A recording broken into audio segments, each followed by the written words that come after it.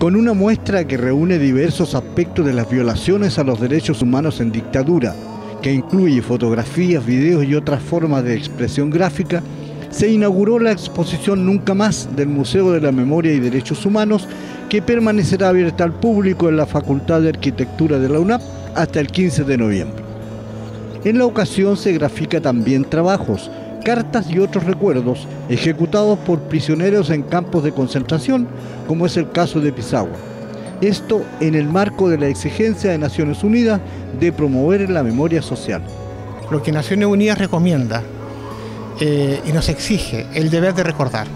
Dice el, Comité Internacional de Derechos Humanos de Naciones Unidas que aquellos estados donde se han vivido situaciones de represión como la que sufrió Chile, tienen el deber de recordar lo que sucedió a través de exposiciones o a través de museos o a través de la educación misma, porque ese es el único modo, eh, se señala, de evitar que se vuelvan a repetir estas situaciones.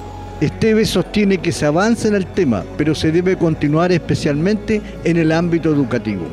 La propuesta es que mm, se pueda trabajar la parte educativa.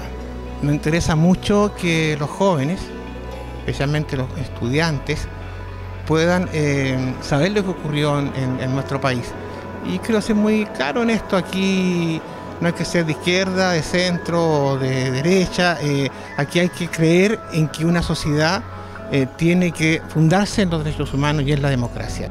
La vigencia de la memoria en los actos de violación de los derechos humanos es una prioridad para quienes fueron presos políticos.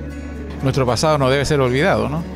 Ahora como víctima directa de lo que fue el advenimiento de una dictadura atroz en nuestro país, bueno, yo celebro todo esto, ¿no? Y ojalá se replicara de manera estable en cada ciudad de Chile, por lo menos en las ciudades mayores, ¿no? Un museo de la memoria, porque en todo el país hubo víctimas, ¿no? Y en todo el país se cometieron eh, horribles crímenes. Nos refresca y nos recuerda las cosas que pasaron en Chile y cómo la gente hacía sus movimientos y resistencia en tiempos en que era difícil estar en la calle protestando. Y por otro lado, eh, es bueno que esta memoria nunca se olvide, porque lo fundamental es esto, que nunca se vuelva a repetir. Eh, a nosotros las cosas que nos faltan acá sin duda son muchas. Eh, estamos en un proceso de recuperación de la cárcel de Pisagua. Para entidades de derechos humanos y la universidad, esta actividad tiene honda connotación regional.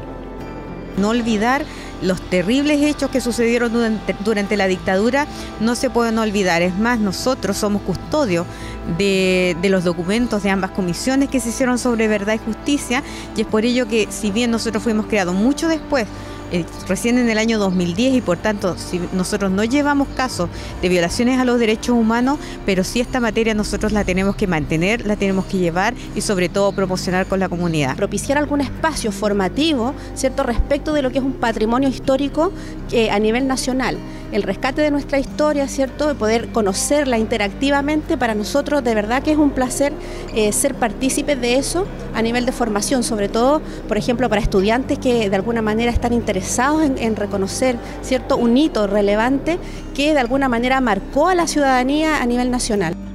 La exposición Nunca Más ofrece una síntesis de los hechos que rodearon el golpe de Estado de 1973, la represión, las demandas de verdad y justicia, entre otras manifestaciones contra los derechos humanos.